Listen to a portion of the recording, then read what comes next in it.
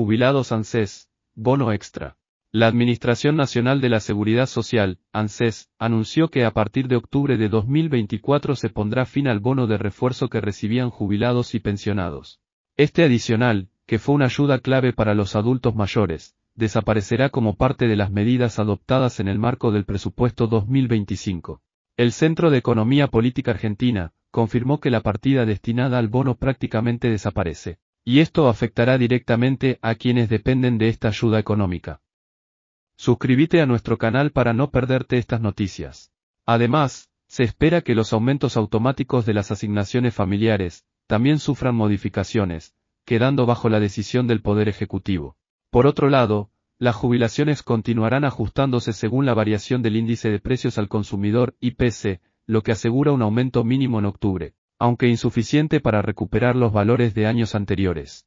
El bono de refuerzo de 70 mil pesos, que los jubilados venían recibiendo durante los últimos meses como un alivio económico, dejará de pagarse a partir de octubre de 2024.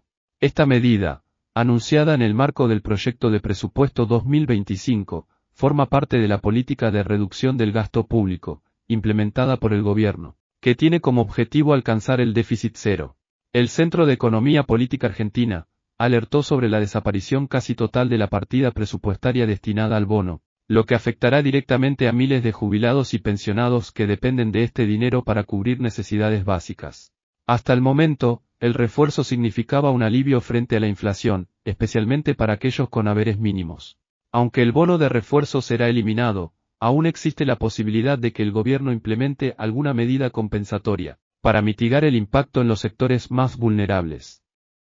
Sin embargo, no se dieron detalles oficiales sobre qué tipo de ayuda, si la hubiera, reemplazaría este beneficio.